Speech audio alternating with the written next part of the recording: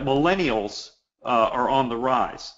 Uh, by the year 2025, which is not too far away, as you well know, 11 years or so, 75% of your workforce will be millennials. This means that uh, they will be in leadership roles, uh, mid-level and greater. And so uh, we have to be aware that everything is shifting. Uh, the number of employees that we have and the demographic of the employee is shifting. And again, this is globally. This is not just a, an American problem. This is a global issue that we're dealing with. So let me give you an example of what's changing. The world's largest taxi cab company actually owns no vehicles. And we know this organization as Uber.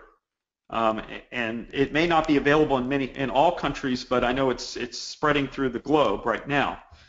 The world's most popular media owner actually creates no content, and we know this as Facebook. The most valuable retailer in the world has no inventory, and we know it as Alibaba.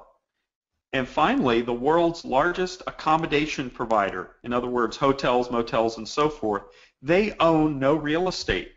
And we know that company as Airbnb.